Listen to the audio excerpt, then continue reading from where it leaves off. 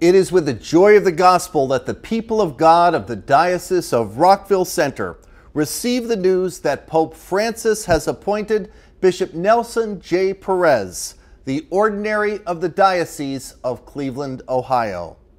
Bishop Perez is a compassionate and loving pastor who, as vicar of Eastern Long Island, an Hispanic ministry in the Diocese of Rockville Centre, shepherded the people of God with both the spirit of the divine mercy and the spirit of the new evangelization. Bishop Perez's great strength, pastoral insight, and support of the people of God in our parishes was drawn from his years as a dedicated pastor of parishes in the Archdiocese of Philadelphia. He experienced every joy, sorrow, and challenge a parish pastor experiences and our priests understood that he knew them and supported them.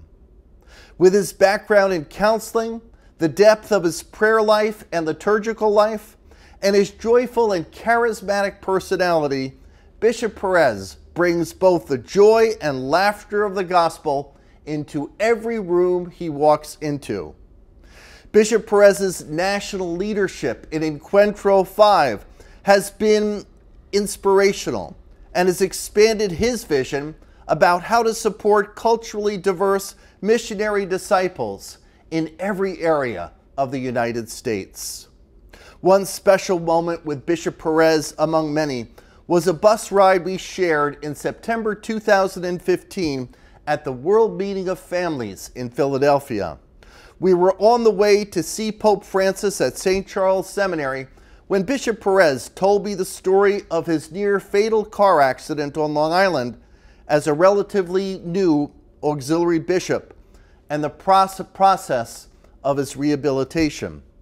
His experience of the cross brought him an even deeper faith, pastoral compassion, and trust in God's will working in his life and working in his, his missionary life.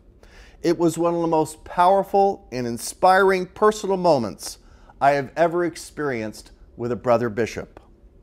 We, the people of God of the Diocese of Rockville Centre, give God thanks for the ministry of Bishop Perez, and we rejoice today with Pope Francis, Bishop Perez, his dear parents and family, and the people of God of the Diocese of Cleveland.